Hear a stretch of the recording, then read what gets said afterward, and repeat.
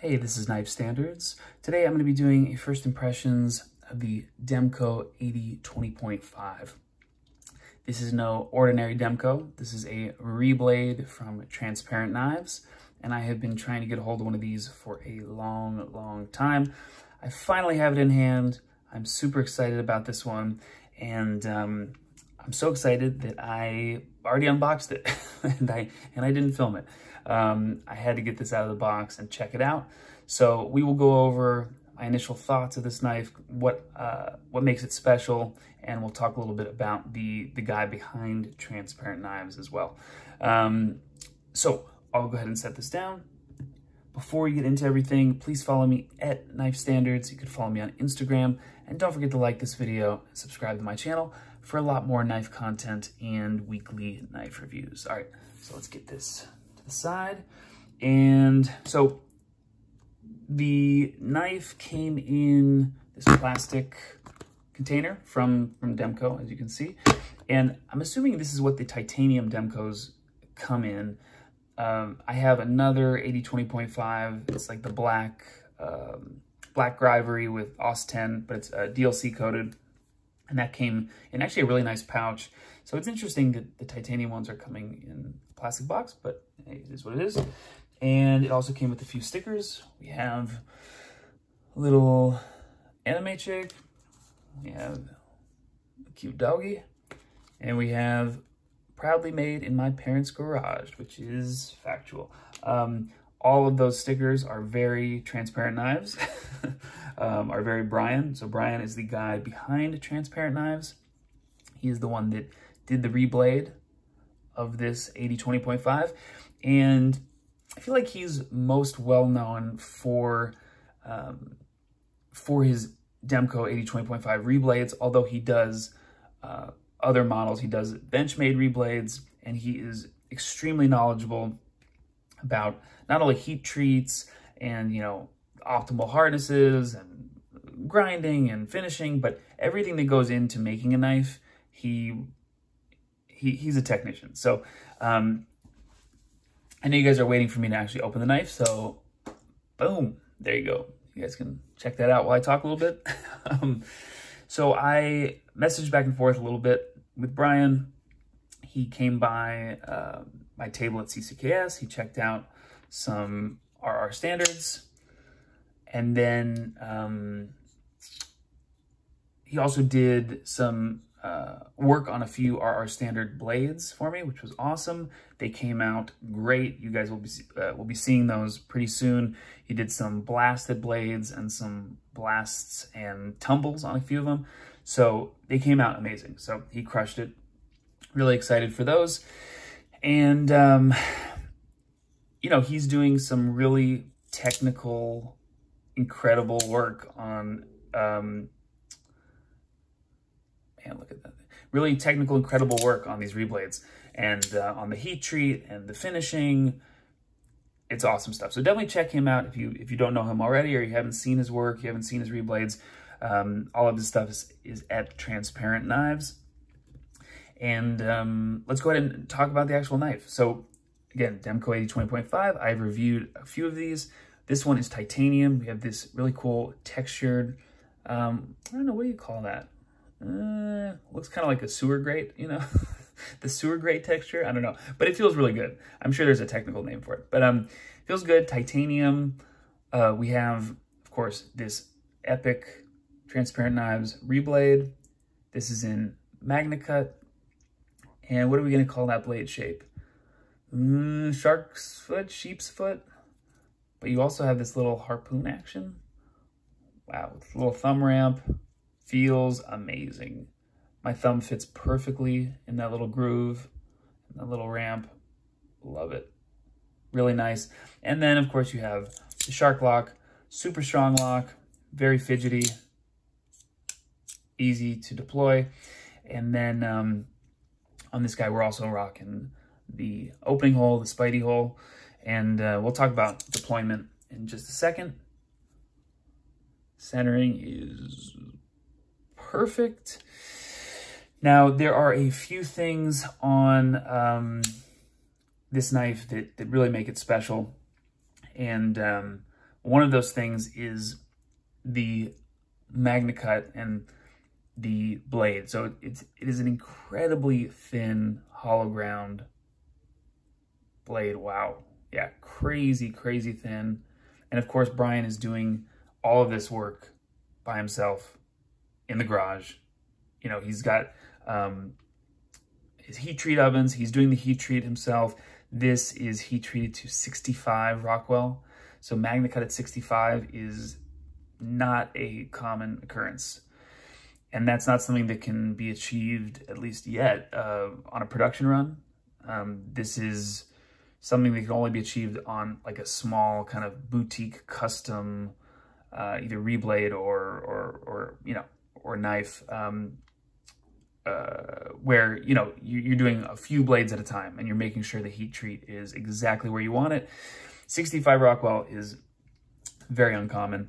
For MagnaCut, his spec, I think, is like 64 to 65, but he ends up clocking a lot of these in at like 64.7, 64.8, and then um, I've seen a bunch of his stuff come out at 65. So again, very exciting that this is at 65, incredibly thin hollow grind, and um, the finish on the blade is actually very cool. I don't think I have another blade that's finished like that. It's belt satin, but it also has this kind of light stone wash, this light tumble which just makes me want to use the knife more, you know?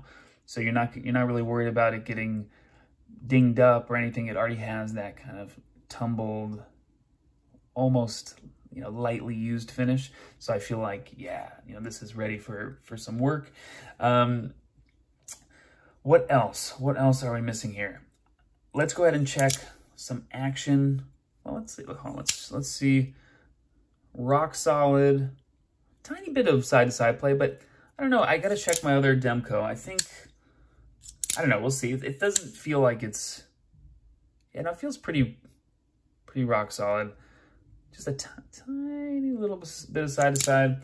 -side. Um, action feels super snappy and smooth. It actually feels like a better detent than, I don't know if it's a better spring or if Brian tuned the action or what it is or if, you know, I don't know actually. But it feels better than my other Demko, definitely. Whew, very smooth, very snappy, crisp. Let's go ahead and try the uh, middle finger flick. Boom, works great. Now, when I was first flicking this, I realized that, um, yeah, that feels amazing. Also really nice acoustics. I realized that, you know, a lot of the time when I'm flicking a knife, I like to go, oh, I like to go out um, instead of up. And on the Demko Reblade with the Spidey hole, I actually have to go straight up. So I'll show you guys what I mean.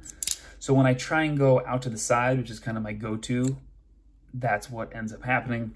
So I have to actually go up kind of diagonal towards the pivot and it works perfectly. So I had to make that adjustment, not a big deal. I feel like every flicking knife, and actually thumb studs too, you have to make a little adjustment depending on the detent or where the hole is or whatever. But he also does some reblades with, you know, more like an op like a tapered opening slot. He does some with thumb studs, and um, he is doing uh, these. I, I don't know. Oh yeah, like baby. I think they're called Baby Shark, um, Baby Shark reblades. So I think he's taken off part of the handle and then taken off part of the blade. So they're like like mini AD20.5s, which I think is awesome. They're like the ultimate box cutters. Uh, so I think he's doing a lotto either today or tomorrow. I got to double check on that. But anyway, um, this is an amazing knife. Awesome reblade, kind of that small boutique custom uh, heat treat custom grinding. He's doing all the work himself. I think the only thing that he doesn't do, which is obvious to me, is the uh, water jet or the, uh, you know, the cutting of the blanks, which makes sense. Everything else he is doing literally in his parents' garage. But yeah, anyway, definitely follow him at Transparent Knives. Extremely knowledgeable. Keep a lookout for the RR Standard um, blades that he worked on. blasted blades and then blast and tumbled blades. Very cool. I will get this in pocket today and I'm really excited to start using this guy. Whew. I've been trying to track one of these down for quite a while. Um, and one more thing, you know, that I do talk about sometimes is more and more I am enjoying the knives when I get to know the person behind the knife. You know, whether it's a message on Instagram or an email or I meet them in person or I talk with them at CCKS or whatever it is. Um, I, I, am not going to say who, but I, I've talked with knife makers and, you know, knife people that they're just not pleasant to talk with and they're just not pleasant to message with. And it immediately turns me off from their designs. And that's a bummer because some of those uh, situations and some of those instances, they're, they're, they're really good designs. They're really good knives. I'm sure they're amazing makers and, and good designers or whatever the case is. And because they're not pleasant to be around and talk with, it just turns me off from their work. So that is not the case with this knife. Um, Brian was super cool and um, took the time to not only uh, do some work on some of our standards for me, but also to teach me a few things. So I really appreciate that. And it makes me want to buy more of his work and spend my money on this stuff because of the person behind the knife and behind the reblade. So again, more and more that's becoming important to me. Um, the person behind the knife, the designer behind the knife, whoever made it, um, whoever designed it, whoever did work on it, uh, I, I, really do um, appreciate that, and that's part of my my you know knife review criteria, and that's really where I want to spend my money is on a knife that um, you know I feel good about not only the design and the aesthetic and the quality of the work, but I feel good about spending that money, uh, you know, towards the person who who made it. So hopefully that makes sense. Um, this is an incredible reblade, 65 HRC MagnaCut, incredibly perfectly ground whew, insanely thin. I will keep you guys updated on this and I will get it in pocket. Thank you guys for watching. This has been Knife Standards. I will catch you later.